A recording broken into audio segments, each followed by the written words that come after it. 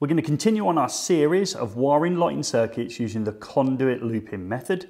This booklet here is downloadable from the link in the description and we're working our way through it in order that we can wire a conduit system that I've developed at Tresham College, one that would be very easy for you to build either at your college or maybe even at home to practice this different way of wiring lighting circuits using the conduit loop-in method. Remember, we're now using single insulated PVC cables, probably 1.5 millimeters squared. They're stranded for greater flexibility, and they're the cables that we use within conduit and trunking systems. The advantage being that we can take the conductors exactly where we need them. In my previous video, we produced the wiring diagram for this, which links to the exercise booklet that I've already given you. So here is the exercise and at stages one, two and three, you have the first switch controlling the first light in office number one, second switch controlling the second light in office number two, and the third switch controlling the third light in say office number three. And that's where we got up to. Now we developed it from the circuit diagram we'd done in a previous video presentation, as well as our very first wiring diagram of a consumer unit a one-way light switch and a lighting point. So this knowledge keeps building on top of each other and I recommend if you haven't seen the previous videos to go back and watch those and downloading the package will be really helpful as well. So what we're going to do now is we're going to move it on to what is the fourth stage in this booklet. So if I find the right page, the fourth stage is that we have lights A and B, so these two here, controlled by switch number one. So what we've got here, this switch now turns on this lighting point, but also this lighting point here. If you think of maybe of a commercial or industrial situation where you're using a conduit system, if you walked into say an office, you turn on a switch, it's likely to turn on more than one lighting point. And that's what we're looking at here for this process. Can we develop a one way of a lighting point, which we did previously? In this video here, we did this switch turned on this light. Can we develop it that we have this switch turning on this light and this light? If you've wired this in a workshop and got it marked off or you're practicing yourself, you can just alter the wiring that is available here once we've done this drawing here, you'll see how logically you can alter stuff and remove cables in order that you can have this switch controlling these two lighting points. But for this, obviously, we need to develop the wiring diagram from the knowledge we've already acquired.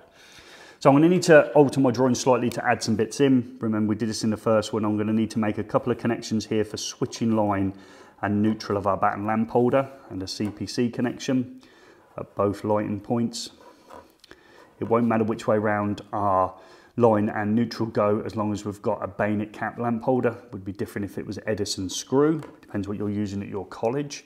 And we've got down here a one-way switch. So I need to have a common and L1. So we're going to be using these plastic switches, but you can use metal grid switches. So they're also um, the type that you would probably use in a conduit system. So we've got our common labeled an L1. And we're going to just use the skills from our previous uh, video in order that we can get our one-way circuit in first and then work out how we can have both lights turned on at the same time. So let's start off as we did before in that previous video doing the neutral. So our neutral being here, our single insulated blue conductor stranded. We're going to take it to exactly where we need it. Where do we need it? Well, we need it up here at our lighting point. So let's bring our neutral. And again, I'm going to use fuseway number one, CPC and neutral number one position. So the earth bar and the neutral bar.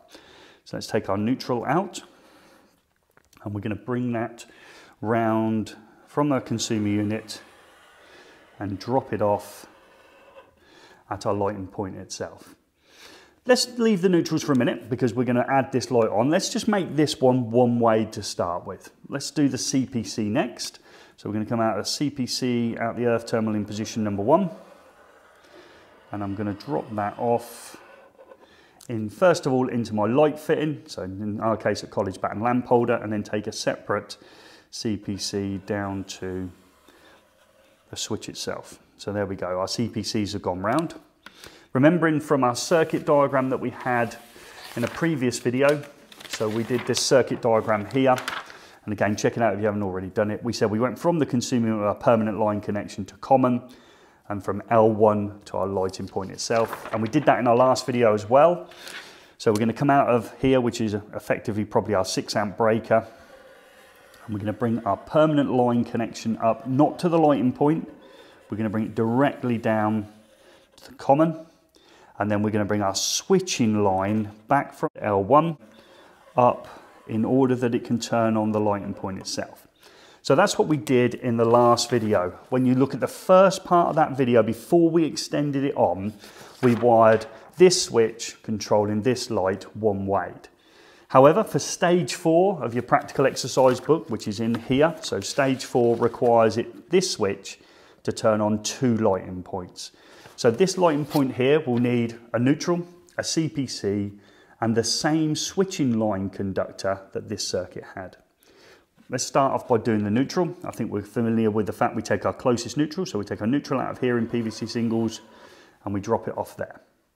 Where's the CPC? Where's the closest CPC that we can get? Well, the closest CPC is here, so let's bring that one through. And now we've got to work out when we turn this one on, when we close this switch, we put a switching line here onto L1 that comes up and turns on this lighting point here. So we could take our switching line from here, come up to the conduit and through to this lighting point just here. However, this might be a, a 10, 10 metre drop, it might be some distance away, and that is not the closest switching line of this part of the circuit. So have a think, where would the closest switching line be to make this light and this light come on together? Well, it's here, isn't it? It's just here. This switching line conductor here turns on this light. If we were to extend it through into here, into the next area, the next lighting point in the office, say for instance, when I turn on this switch, I turn on this light, and because I've shared a neutral across, it needs a neutral, a CPC across to make it safe, and I've shared the switching line conductor across to here. When this lamp illuminates, it might be a fluorescent light fitting, this one here will also illuminate, meaning that this one-way switch now turns on this light and this light. It might be that you want more lights. So how do we do that? We continue the process on, don't we? Let's say we were putting this light on it as well. We drop a neutral across, the switching line across and the CPC across in these PVC single cables to the next lighting point, meaning that this switch will turn on this light, this light, and the process can continue. So this is building on the knowledge from a previous videos in this series using the conduit loop-in method. The great advantage of using PVC single cables are you can take them exactly where you want them to go and you can make it as logically short as you can as long as you select the appropriate conductor from the position it was in. We did exactly the same in our previous drawing when we linked together our commons because that gave us the consumer unit's permanent line into common and that permanent line went into this common and it looped into this common. In this drawing here, we've picked up the most logical switching line conductor, neutral and CPC, in order to have another lighting point come on using this conduit loop-in system. We're going to take it on in further videos. We're going to start looking at two-way, two-way and intermediate as well as we work through the booklet, which is obviously downloadable in the link in the description. But as always, I hope this video has been some help.